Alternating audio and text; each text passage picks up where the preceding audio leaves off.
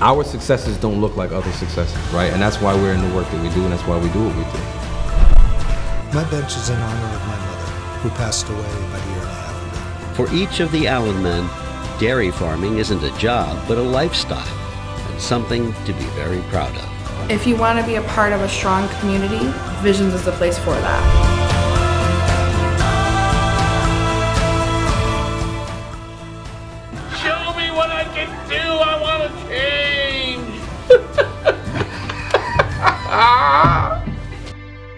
The idea that it's not a program, kids don't want to come to a program. They want to build a relationship. So that's what we're here for. Joining is the first step, and then there's just, it's a whole adventure afterwards.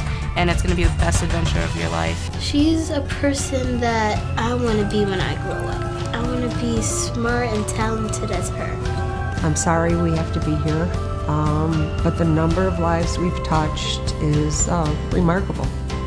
It's very hard, but that's the truth of my story, is that I don't remember most of my childhood is because of one person's selfish gain.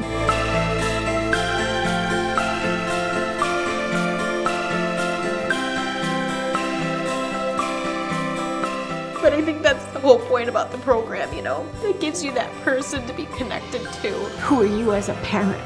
You know, your kid has all these challenges. You know, you think,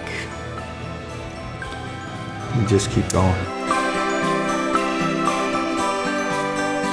I see the progress that we're making every day, and I just want to share it with the world. Especially central New York is just a beautiful area, and coupled with what's going on in the craft beverage industry, it's just a, a great place to come.